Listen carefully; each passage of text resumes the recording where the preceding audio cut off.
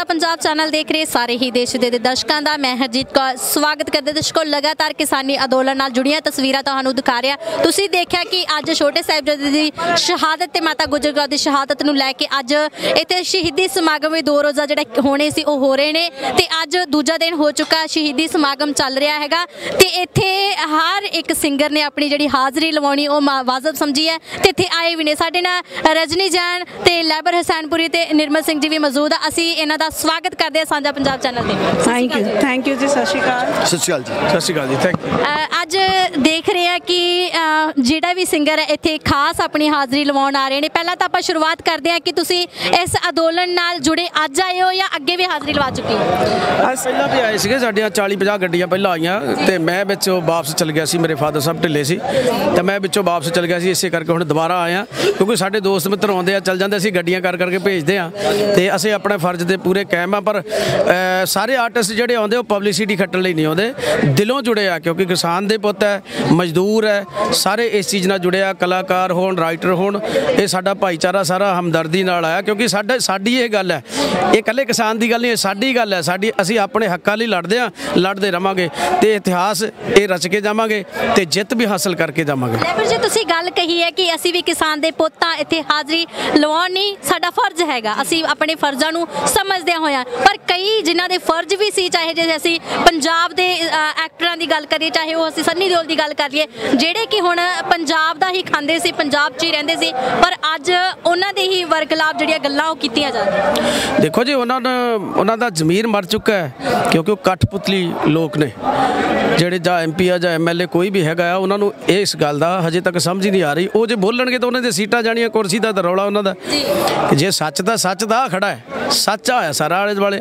ਜਿਹੜੇ ਆਪਣਾ ਘਰ ਪਰਿਵਾਰ ਬੱਚੇ ਛੋਟੇ ਛੋਟੇ ਲੈ ਕੇ ਉਹਨਾਂ ਨੇ ਲੰਗਰ ਚੱਲ ਰਿਹਾ ਜੀ ਬਾਬਾ ਜੀ ਦਾ। ਦੇਖੋ ਇਹ ਕਿੱਡੀ ਵੱਡੀ ਰਹਿਮਤ ਹੈ ਕਿੱਡੀ ਵੱਡੀ ਉਹਨਾਂ ਨੇ ਗੱਲ ਕਹਿਤੀ ਜੀ ਪੀਜ਼ੇ ਖਾਂਦੇ ਆ ਤੇ 버ਗਰ ਖਾਂਦੇ ਜੀ ਗਰੀਬ ਉਹ ਉਹ- ਕਿੱਥੋਂ ਗਰੀਬ ਹੋ ਗਿਆ? ਇਹ ਸੋਚਦੇ ਸੀ ਕਿ ਕਿਸਾਨ ਉਹ ਫਟੇ ਪੁਰਾਣੇ ਕੱਪੜੇ ਤੇ ਕਈ ਚੁੱਕੀ ਹੋਵੇ ਉਦਾਂ ਦਾ ਹੀ ਕਿਸਾਨ। ਨਹੀਂ ਕਿਸਾਨ ਹੁਣ ਪੜ੍ਹ ਲਿਖ ਗਿਆ। ਜੀ।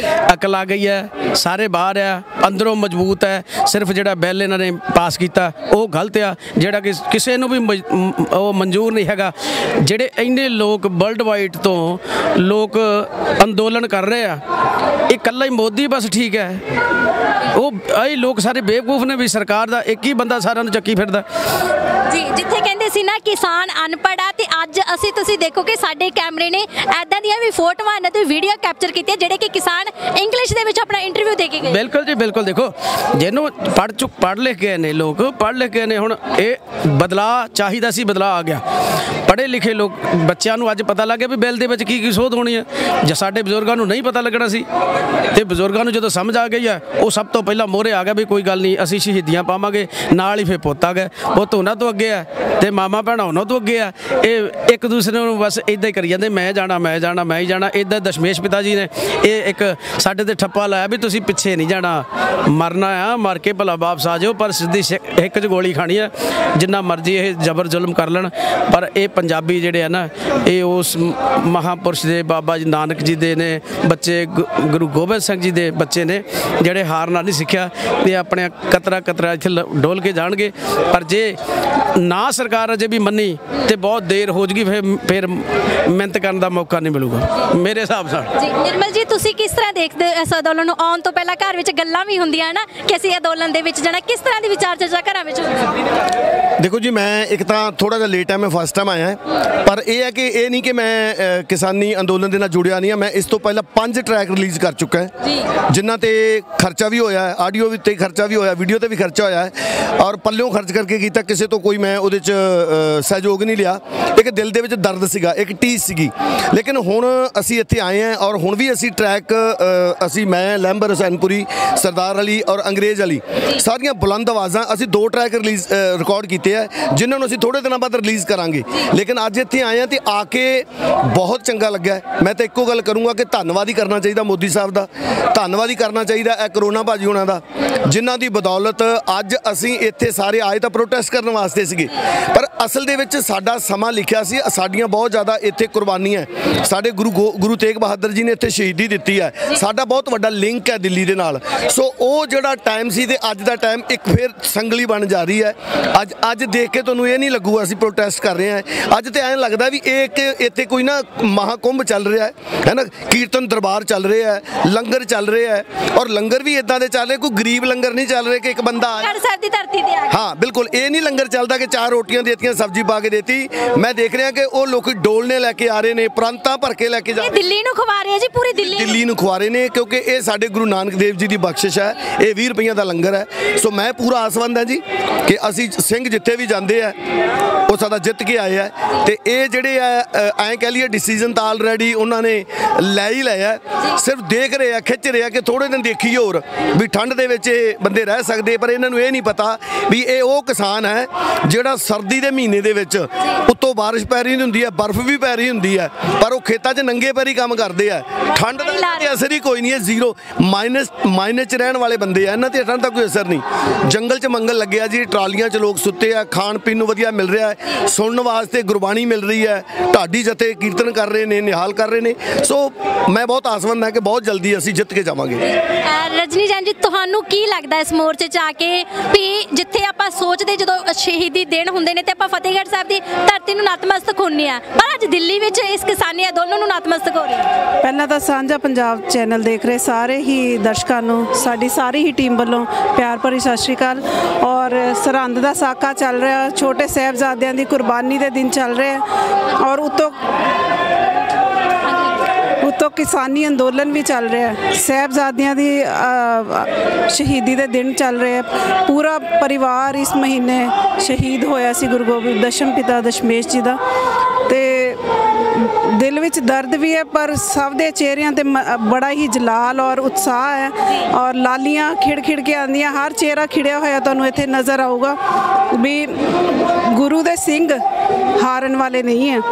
ਕਿਉਂ? ਤੁਸੀਂ ਵੀ ਇੱਕ ਬੇਟੀ ਹੋ ਤੁਸੀਂ ਦੁਮਾਲਾ ਸਜਾਇਆ ਤੁਹਾਨੂੰ ਪਤਾ ਇਸ ਦੁਮਾਲੇ 'ਚ ਕਿੰਨੀ ਤਾਕਤ ਹੈ ਕਿੰਨੀ ਪਾਵਰ ਹੈ। ਆਪਾਂ ਸਭ ਉਹ ਕਰ ਸਕਦੇ ਹਾਂ ਜੋ ਸਾਨੂੰ ਬਾਣੀ ਨੇ ਹੁਕਮ ਦਿੱਤਾ। ਸਾਡੀਆਂ ਰਗਾਂ ਵਿੱਚ ਕੋਈ ਠੰਡਾ ਖੂਨ ਨਹੀਂ ਹੈ ਤੱਤਾ ਖੂਨ ਹੈ ਤੇ ਹੱਕਾਂ ਲਈ ਲੜਨਾ ਆਪ ਸਾਡਾ ਅਧਿਕਾਰ ਹੈ ਹਨਾ? ਇਹ ਵੀ ਦੇਖਦੇ ਹੋ ਕਿ ਮਾਤਾਵਾਂ ਬਜ਼ੁਰਗ ਤੇ ਬੱਚੇ ਵੀ ਇੱਥੇ ਆਏ ਹੋਏ ਨੇ। ਬਿਲਕੁਲ ਜੀ ਸੂਰਮਿਆਂ ਨੂੰ ਪੈਦਾ ਕਰਨ ਵਾਲੀਆਂ ਮਾਤਾਵਾਂ ਇੱਥੇ ਜਦ ਆ ਗਈਆਂ ਫਿਰ ਤਾਂ ਮਤਲਬ ਹੀ ਨਹੀਂ ਬਣਦਾ ਕਿ ਅਸੀਂ ਹਾਰ ਕੇ ਜਾਵਾਂਗੇ, ਅਸੀਂ ਜਿੱਤ ਕੇ ਹੀ ਜਾਵਾਂਗੇ।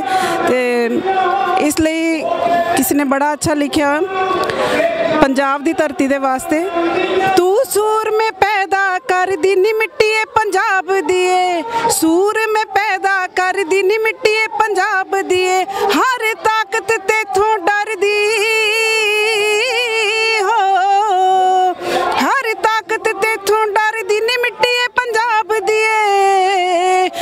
ਸੂਰ ਮੇ ਪੈਦਾ ਆ ਸੂਰ ਮੇ ਪੈਦਾ ਕਰਦੀ ਨੀ ਮਿੱਟੀਏ ਪੰਜਾਬ ਦੀ ਤੂੰ ਸੂਰ ਮੇ ਪੈਦਾ ਕਰਦੀ ਨੀ ਮਿੱਟੀਏ ਪੰਜਾਬ ਦੀਏ ਰਜਨੀ ਜੀ, ਤੁਸੀਂ ਇਹ ਵੀ ਗੱਲ ਮੰਨਦੇ ਹੋ ਨਾ ਕਿ ਚਾਹੇ ਕੋਈ ਵੀ ਅਸੀਂ ਗੱਲ ਕਰਦੇ ਕਿਸੇ ਦੀ ਵੀ, ਚਾਹੇ ਉਹ ਕੈਨੇਡਾ ਸੈਟਲ ਹੋ ਜਾਏ, ਚਾਹੇ ਆਈਲੈਂਡਸ ਕਰਕੇ ਬਾਹਰ ਚਲੇ ਜਾਏ, ਕਿਸੇ ਵੀ ਪੋਸਟ ਤੇ ਕੋਈ ਵੀ ਜਾ ਸਕਦਾ, ਪਰ ਆਪਣੀ ਮਿੱਟੀ ਨਾਲ ਜ਼ਰੂਰ ਜੁੜਿਆ ਹੁੰਦਾ। ਬਿਲਕੁਲ ਜੀ, ਬਿਲਕੁਲ। ਮੈਂ ਕਹਿੰਨੀ ਜਿੱਦਾਂ ਅਸੀਂ ਜਾਂਦੇ ਰਹਿੰਦੇ ਟੂਰਸ ਤੇ ਬਾਹਰ ਵੀ, ਤੇ ਦੇਖਦੇ ਹਾਂ ਕਿ ਉੱਥੇ ਜਿਹੜਾ ਪੰਜਾਬੀ ਹੈ, ਹਰ ਪੰਜਾਬੀ ਦਾ ਮਾਈਂਡ ਉਹਦੇ ਪਿੰਡ ਵਿੱਚ, ਉਹਦੇ ਜਿਹੜਾ ਜਨਮ ਸਥਾਨ ਹੈ, ਉਹਦੇ ਨਾਲ ਜੁੜਿਆ ਹੋਇਆ ਪੰਜਾਬ ਤੋਂ ਜੁਦਾ ਹੋ ਕੇ ਕੋਈ ਬੰਦਾ ਰਹਿ ਨਹੀਂ ਸਕਦਾ। ਇਹ ਧੜਕਣ ਹੈ ਪੰਜਾਬ ਸਭ ਦੀ। ਪੰਜਾਬੀਆਂ ਦੀ ਧੜਕਣ ਹੈ, ਉਹ ਜਿੱਥੇ ਮਰਜ਼ੀ, ਜਿਹੜੇ ਮਰਜ਼ੀ ਕੰਟਰੀ ਚੱਲ ਜਾਣ, ਪਰ ਹਮੇਸ਼ਾ ਪੰਜਾਬੀ ਆਪਣੀ ਪੰਜਾਬੀਅਤ ਨਾਲ ਦਰਿਆ ਦਿਲੀ ਨਾਲ ਦਲੇਰ ਜਿਗਰੇ ਦੇ ਨਾਲ ਆਪਣੀ ਪਹਿਚਾਨ ਕਰਵਾਉਂਦੇ ਆ। ਤੁਸੀਂ ਦੇਖੋ ਅੱਜ ਬਾਹਰਲੇ ਕੰਟਰੀਆਂ ਵਿੱਚ ਵੀ ਪੰਜਾਬੀਆਂ ਨੇ ਗੋਰਿਆਂ ਨੂੰ ਮੂਰੇ ਲਾਇਆ। ਕਦੀ ਉਹ ਵਕਤ ਸੀਗਾ ਕਿ ਗੋਰਿਆਂ ਤੋਂ ਅਸੀਂ ਮਤਲਬ ਕਿੱਦਾਂ ਜਿੱਤ ਹਾਸਿਲ ਕਰਕੇ ਗੁਲਾਮੀ ਉਹਨਾਂ ਨੇ ਸਾਨੂੰ ਦਿੱਤੀ, ਹਨਾ? ਕਿੰਨਾ, ਕਿੱਦਾਂ ਗੁਲਾਮ ਬਣਾਏ ਤੇ ਉਹਨਾਂ ਨੂੰ ਭਜਾਇਆ। ਅੱਜ ਉਹੀ ਗੋਰਿਆਂ ਨੂੰ ਪੰਜਾਬੀਆਂ ਦੀ ਲੋੜ ਹੈ ਕਿ ਪੰਜਾਬ ਤੋਂ ਲੋਕ ਆਣਗੇ ਤਾਂ ਸਾਡਾ ਦੇਸ਼ ਤਰੱਕੀ ਵੱਲ ਜਾਊਗਾ। ਔਰ ਉਹਨਾਂ ਨੇ ਸਾਰੇ ਮਾਸਟਰ ਮਾਈਂਡ ਸਾਡੇ ਇੰਡੀਆ ਦੇ, ਪੰਜਾਬ ਦੇ ਚੱਕੇ ਇਹ ਵੀ ਸੋਚਣ ਵਾਲੀ ਗੱਲ ਹੈ ਕਿ ਸਾਡੇ ਦੇਸ਼ ਦੇ ਵਿੱਚ ਸਾਡੇ ਪੰਜਾਬ ਜਿਹਨੂੰ ਦੇਸ਼ ਦਾ ਦਿਲ ਕਿਹਾ ਜਾਂਦਾ ਵਾ। ਦਿਲ ਦੀਆਂ ਧੜਕਣਾਂ ਹੌਲੀ ਹੌਲੀ ਕੱਢ ਕੱਢ ਕੇ ਵਿਦੇਸ਼ਾਂ ਵਿੱਚ ਜਾ ਰਹੀਆਂ। ਕਿਉਂ ਜਾ ਰਹੀਆਂ? ਕਿਉਂਕਿ ਇੱਥੇ ਕੋਈ ਸਰਕਾਰ ਦਾ ਗਵਰਨਮੈਂਟ ਦਾ ਅੱਛਾ ਰੂਲ ਨਹੀਂ ਹੈ ਜੇ ਆਪਣੇ ਦੇਸ਼ ਵਿੱਚ ਹੀ ਸਭ ਨੂੰ ਸਭ ਕੁਝ ਮਿਲੇ, ਉਹ ਕਿਉਂ ਪਰਦੇਸੀ ਹੋਵੇ? ਜਿਹੜੇ ਪਰਦੇਸਾਂ 'ਚ ਬੈਠੇ ਉਹਨਾਂ ਦੇ ਅਥਰੂ ਦੇਖੋ। ਉਹ ਆਪਣੀਆਂ ਮਾਵਾਂ ਦੀਆਂ ਰੋਟੀਆਂ ਖਾਣ ਨੂੰ ਤਰਸਦੇ ਆ, ਕਿੱਦਾਂ? ਹੈਨਾ? ਉਹਨਾਂ ਦਾ ਦਰਦ ਸਮਝੋ ਕਿ ਕਿਉਂ ਹਰ ਪੰਜਾਬੀ, ਹਰ ਦੇਸ਼ਵਾਸੀ ਬਾਹਰ ਜਾਣ ਨੂੰ ਉਤਸੁਕ ਹੈ। ਇਸੇ ਲਈ ਹੁਣ ਆ ਅੱਜ ਕਾਲੇ ਕਲੂ- ਕਾਨੂੰਨ ਓਪਨ ਹੋਏ ਆ। ਜੇ ਅੱਜ ਵੀ ਵਿਰੋਧ ਨਾ ਕੀਤਾ ਤੇ ਦੇਰ ਹੋ ਜਾਣੀ ਹੈ ਨਾ ਕਿਉਂਕਿ ਕੁਝ ਵੀ ਥੋਪਿਆ ਨਹੀਂ ਜਾ ਸਕਦਾ। ਅਸੈਪਟ ਨਹੀਂ ਐਕਸੈਪਟੇਬਲ ਨਹੀਂ ਹੈ, ਬਿਲਕੁਲ ਵੀ ਹੈ ਨਾ ਤੇ ਸਾਰੇ ਅਸੀਂ ਮੋਢੇ ਨਾਲ ਮੋਢਾ ਜੋੜ ਕੇ ਜਿੱਥੇ ਸਾਡੀ ਸੇਵਾ ਦੀ ਲੋੜ ਹੋਈ, ਜਿੱਥੇ ਹਾਜ਼ਰੀ ਦੀ ਲੋੜ ਹੋਈ, ਅਸੀਂ ਸਾਰੇ ਆਪਣੇ ਕਿਸਾਨ ਮਜ਼ਦੂਰ ਭਰਾਵਾਂ ਦੇ ਨਾਲ ਹੈ ਔਰ ਦਿਨ ਰਾਤ ਅਰਦਾਸ ਕਰਦੇ ਹਾਂ ਕਿ ਇਹ ਤੰਦਰੁਸਤੀ ਹਾਸਲ ਕਰਨ ਔਰ ਜਿੱਤ ਕੇ ਫਤਿਹ ਬੁਲਾ ਕੇ ਜਾਣ। ਲੈਵਲਸ ਜੀ, ਤੁਸੀਂ ਵੀ ਕੁਝ ਕਿਸਾਨੀ ਦਰਦ ਦੇ ਵਿੱਚ ਉਹ ਸਤਰਾ ਬਿਆਨ ਕੀਤੀਆਂ ਜੋ ਕਿ ਜਵਾਨਾਂ ਦੇ ਵਿੱਚ ਜੋਸ਼ ਭਰਦੇ ਨੇ। ਜੀ ਬਿਲਕੁਲ ਗਾਣੇ ਤਿੰਨ ਚਾਰ ਆ ਰਹੇ ਸਾਡੇ ਕਿਉਂਕਿ ਕਿਸਾਨੀ ਕਿਸਾਨੀ ਨਾਲ ਰਿਲੇਟਡ ਕਿਉਂ ਗਾਏ ਆ ਕਾਫੀ ਉਹ ਹੁਣ ਆ ਜਾਣਗੇ। ਤੇ ਬਸ ਇਹੀ ਆ ਵੀ ਦਿਲੋਂ ਅਰਦਾਸ ਬੇਨਤੀ ਇਹੀ ਆ ਵੀ ਪ੍ਰਮਾਤਮਾ ਇਹਨਾਂ ਭਰਾਵਾਂ ਨੂੰ ਸਾਡੀਆਂ ਬੀਬੀਆਂ ਭੈਣਾਂ ਨੂੰ ਸਾਡੇ ਹੱਕ ਮਿਲ ਜਾਣ ਤੇ ਅਸੀਂ ਸੁਖੀ ਸੰਦੀ ਆਪਣੇ ਘਰ ਜਾਈਏ ਤੇ ਬਸ ਇਹ ਖਤਮ ਹੋ ਜਾ ਅੰਦੋਲਨ ਤੇ ਇਹ ਸਰਕਾਰ ਅੱਗੇ ਬੇਨਤੀ ਆ ਕਿ ਛੇਤੀ ਮੰਨ ਜਾਣ ਤੇ ਬਹੁਤ ਚੰਗਾ ਬਸ। ਸੌਂਗ ਤੁਸੀਂ ਜ਼ਰੂਰ ਪੇਸ਼ ਕਰੋ ਉਹ ਸਤਰਾ ਜਿਹੜੀਆਂ ਤੁਸੀਂ ਦਿੱਲੀ ਦੇ ਵਾਸਤੇ ਲਿਖੀਆਂ ਹੋਣ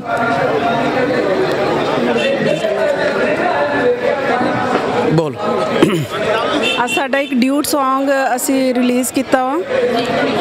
ਅੱਜ ਲੋੜ ਹੈ ਤੇਰੀ ਸਿੰਘਾਂ ਨੂੰ ਆਓ ਪਿੰਡਰਾਂ ਵਾਲੇ ਬਾਬਾ ਜੀ। ਕਿਉਂਕਿ ਅੱਜ ਕੱਲ ਆਪਾਂ ਦੇਖਿਆ ਕਿ ਸਾਡੇ ਦੇਸ਼ ਵਿੱਚ ਬਾਬੇ ਵੀ ਬਥੇਰੇ ਹੋ ਗਏ ਆ ਤੇ ਹਥਿਆਰ ਵੀ ਸਾਰਿਆਂ ਕੋਲ ਹੈ ਜ਼ੈਡ ਸਿਕਿਉਰਿਟੀ ਵਾਲੇ ਬਾਬੇ ਆ ਪਰ ਉਹਨਾਂ ਨੂੰ ਚਲਾਉਣ ਦਾ ਹੌਸਲਾ ਕਿਸੇ ਕਿਸੇ ਵਿੱਚ ਸੀ। ਚਾਹੇ ਪਿੰਡਰਾਂ ਵਾਲੇ ਬਾਬੇ ਨੂੰ ਕੋਈ ਕੁਝ ਕਹਿੰਦਾ ਕੋਈ ਕੁਝ ਕਹਿੰਦਾ ਪਰ ਉਹਨੇ ਦੇਸ਼ ਕੌਮ ਦੇ ਲਈ ਜੋ ਕੀਤਾ ਵਧੀਆ ਕੀਤਾ। ਉਹ ਕੋਈ ਕਰ ਨਹੀਂ ਸਕਦਾ ਉਹ ਪਤਾ ਨਹੀਂ ਕਿੰਨੇ ਜਿਗਰੇ ਵਾਲੀ ਮਾਂ ਦਾ ਕਿੰਨੀ ਦਲੇਰ ਮਾਂ ਦਾ ਉਹ ਪੁੱਤ ਸੀਗਾ। ਤੇ ਆਓ ਅਸੀਂ ਕੁਝ ਲਾਈਨਾਂ ਪੇਸ਼ ਕਰਦੇ ਹਾਂ। ਮੁੜ ਦਿੱਲੀ ਚਾਲਾਂ ਚੱਲਦੀ ਏ, ਅੱਜ ਦੇਣੀ ਹਰ ਪੰਜਾਬੀਆਂ ਨੂੰ। ਬੈ ਇਕੱਠੇ ਕਰਨ ਸਲਾਹਾਂ ਦੇਣਾ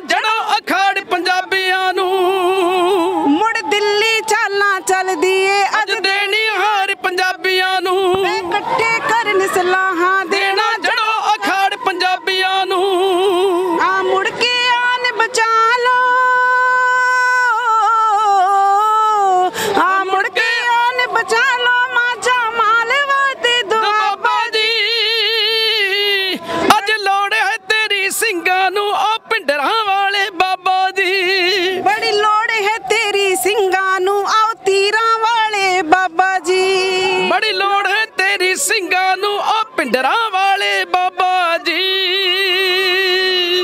ਥੈਂਕ ਯੂ ਸੋ ਦਰਸ਼ਕੋ ਬਹੁਤ ਬਹੁਤ ਧੰਨਵਾਦ ਕਰਦੇ ਹਾਂ ਅਸੀਂ। ਤੁਹਾਡਾ ਕੋਈ ਦੇਸ਼ ਵਿਦੇਸ਼ ਦੀ ਸੰਗਤਾਂ ਨੂੰ ਮੈਸੇਜ ਦੇਣਾ ਚਾਹੁੰਦੇ ਹਾਂ? ਅਸੀਂ ਆ ਹੁਣ ਸਾਕਾ ਸਰੰਦ ਦਾ ਆਖਰੀ ਦਿਨ ਚੱਲ ਰਿਹਾ ਹੈ। ਛੋਟੇ ਲਾਲ ਨੀਹਾਂ ਵਿੱਚ ਚਨਵਾਏ ਗਏ ਸੀ। ਸਾਡਾ ਇੱਕ ਡਿਊ ਟਰੈਕ ਆਇਆ। ਜੀ ਉਹ ਵੀ ਜ਼ਰੂਰ ਸਾਂਝਾ। ਹਾਂਜੀ ਉਹ ਸਾਂਝਾ ਕਰਦੀ ਹਾਂ। ਉਹਦੇ ਵਿੱਚ ਮੈਂ ਇੱਕ ਸਪੈਸ਼ਲ ਗੱਲ ਜਿਹੜੀ ਦੱਸਣਾ ਚਾਹਾਂਗੀ ਕਿ ਲੈਂਬਰ ਸੈਨਪੁਰੀ ਸਾਹਿਬ ਦੇ ਦੋ ਨੰਨੇ ਸਾਹਿਬਜ਼ਾਦੇ ਹਨਾ? ਉਹਨਾਂ ਨੇ ਫਸਟ ਟਾਈਮ ਗਾਇਆ ਔਰ ਐਕਟ ਵੀ ਕੀਤਾ। ਔਰ ਬਾ ਕਮਾਲ ਲਿਖਿਆ ਬੂਟਾ ਗੁਲਾਮੀ ਵਾਲਿਆਂ ਨੇ ਤੇ ਅਸੀਂ ਉਹ ਦੋ ਉਹ ਟਰੈਕ ਅਸੀਂ ਚਾਰ ਹਾਂ ਦੋ ਕੁ ਲਾਈਨਾਂ ਸਾਂਝੀਆਂ ਕਰਦੇ ਹਾਂ। ਨੀਹਾਂ ਵਿੱਚ ਖੜ ਗਏ ਸੀ। ਲਾਲ ਛੋਟੇ ਛੋਟੇ ਨੀਹਾਂ ਵਿੱਚ ਖੜ ਗਏ ਸੀ ਦੋ। ਲਾਲ ਛੋਟੇ ਛੋਟੇ ਵਿੱਚ ਖੜ ਗਏ ਸੀ ਦੋ। ਲਾਲ ਛੋਟੇ ਛੋਟੇ, ਵੱਡੇ ਵੱਡੇ ਕਰ ਗਏ ਸੀ। ਵੱਡੇ ਵੱਡੇ ਕਰ ਗਏ ਸੀ। ਕਮਾਲ ਛੋਟੇ ਛੋਟੇ ਨੀਹਾਂ ਵਿੱਚ ਖੜ ਗਏ ਸੀ। ਵਾਹਿਗੁਰੂ